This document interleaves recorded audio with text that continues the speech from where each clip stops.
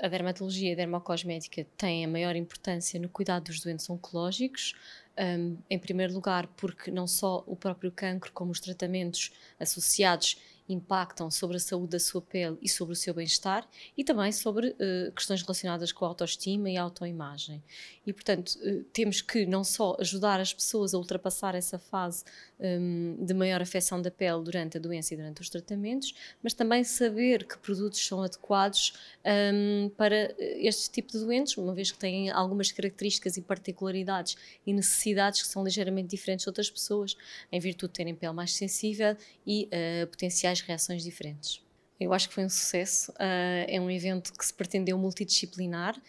vocacionado para a partilha de aspectos relacionados não só com a dermatologia, mas também com a medicina estética e trouxemos também a colega para partilhar sobre a questão da cavidade oral, que também é muito importante. Portanto, além de falarmos de pele, falamos de anexos e falamos de mucosas um, e, e, acho que todos temos a aprender e, e a enriquecer a nossa experiência para que possamos atender melhor os nossos doentes.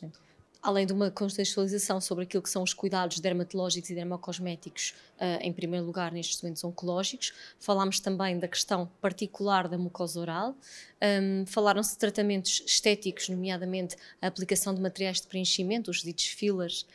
que podem ser não só úteis para combatar algumas sequelas do cancro, mas também saber em pessoas que tiveram cancro alguns aspectos que temos que ter em conta quando realizamos esse tipo de procedimentos, a mesma coisa em relação a lasers e tratamentos uh, com outras fontes de luz, e finalmente, um bocadinho de uma forma uh, mais englobada, aquilo que é a perspectiva dos médicos oncologistas também sobre estas temáticas. Portanto, acho que foi uma excelente partilha das várias especialidades aqui envolvidas. Nenhum médico trabalha sozinho e os doentes uh, são doentes, portanto, não podemos encarar a doença como aquilo que fazemos na nossa especialidade, temos que pensar na pessoa como um todo. E, portanto, acho que em qualquer doença, mas no doente oncológico, sem devia de dúvidas, um, ehm, cabe-nos gerir toda a situação, quer a doença, quer os tratamentos, quer o impacto uh, dos mesmos na pessoa de uma forma global e só podemos fazê-lo quando falamos uns com os outros.